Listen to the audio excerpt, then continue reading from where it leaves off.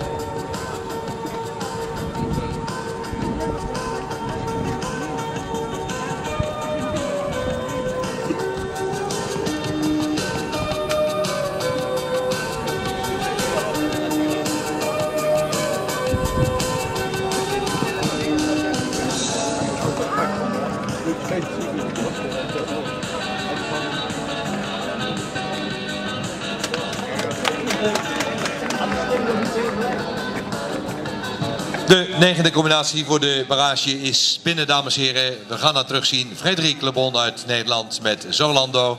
Foutloos grond binnen de